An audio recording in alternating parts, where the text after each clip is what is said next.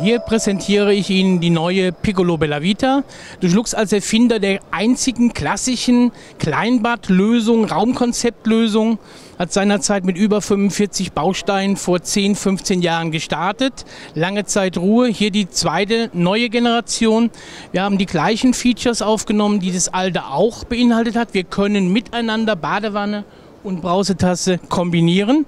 Und das im Bausteinsystem, haben dort ein komplett neues Ablaufsystem, arbeiten mit Schützensystemen aus unserem bewährten Panelprogramm in vielen, vielen Farben erhältlich, arbeiten mit einer Glastüre.